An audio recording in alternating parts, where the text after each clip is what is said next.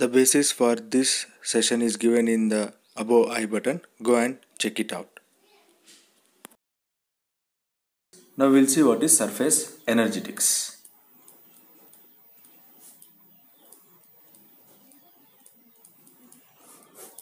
Surface energetics which comes in interfacial phenomena chapter. What it says? It says there is a derivation for that. Consider rectangular wire whose lower part is movable. Take a rectangular wire whose lower part, this part is movable. You can move this part of the wire. Let's say it has A, B, C and D. These are the coordinates for that. Consider a rectangular wire whose lower part is movable. Now take this rectangular wire and dip this rectangular wire in a soap solution. If you dip this wire in a soap solution, what you will get? You will get a thin film of soap within this rectangle.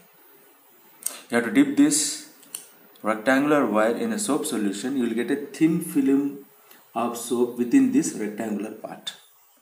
Now, pull this lower part which is movable to this distance let's say I have displaced this lower part to a distance of small d.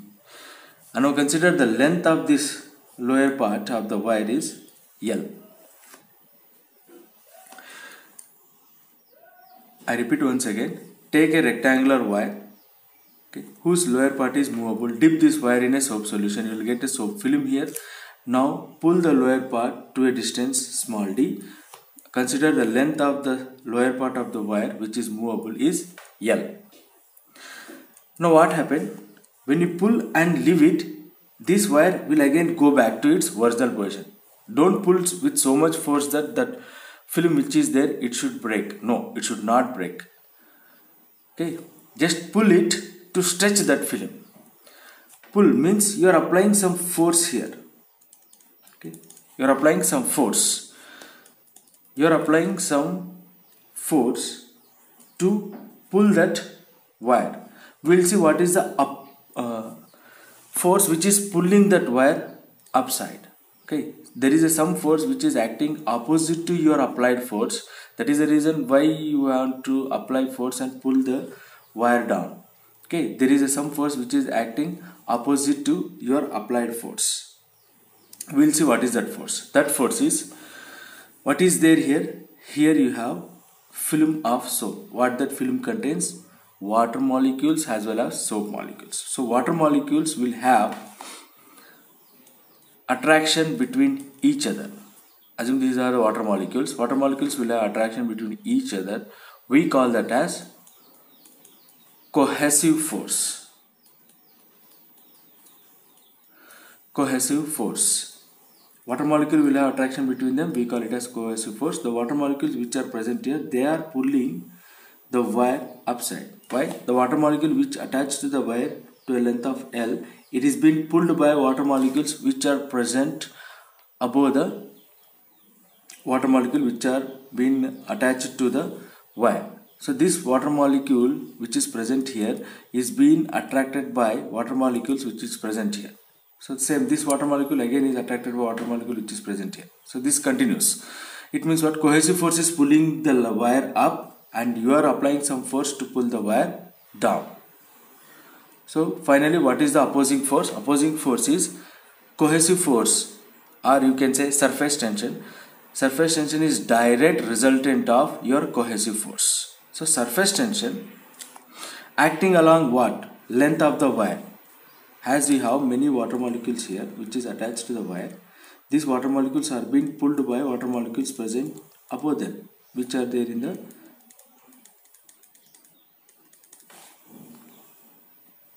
film. So surface tension acting along the length of the wire multiplied by L. Surface tension acting along the length of the wire. Now this film has two surfaces. As you dip this rectangular wire in the soap bubble film assume my hand has rectangular wire. You dip this in a rectangular dip, dip, dip this in a soap solution. Now there is a film here which has two surfaces surface which is here as well as surface which is down. This film has two surfaces that's what i am representing. This film has two surfaces above and below. So surface tension acting along the length of the wire surface tension acting along the length of the wire which has two surfaces. So i am multiplying it 2 so what is the net force? This is the force you are applied to pull the wire down and this is the opposing force. What is that? Surface tension into 2l this is the opposing force which is pulling the wire up. Now we'll see what is surface energetics. What do you mean by energy? Or work done is equal to force into displacement. So this displacement is this one. You have pulled the wire and displaced the wire to a distance of small d. Now what is force here? Force is we already derived the equation for force that is surface tension acting along the length of the wire which has two surfaces. So work done is equal to substitute this equation surface tension acting along the length of the wire which has two surfaces multiplied by displacement. Now length into displacement can be written as change in area so work done is equal to surface tension into change in area. You are pulling the wire and you are changing the area of the soap film which is there in the rectangle. That what I am representing here. So finally surface energetics can be written as G. We call it as G. Surface energy of a film is equal to surface tension multiplied by change in area. Now we will see whether this equation is correct or not. Because I told you previously whether the equation is correct or not you should know about their units. Okay we'll see about their units. What is work done? Work done is we'll see we'll take this equation. We'll see whether it is correct or not okay? Work done is force into displacement centimeter. The units for work done is dynes into centimeter what is the units for surface tension? Force sorry.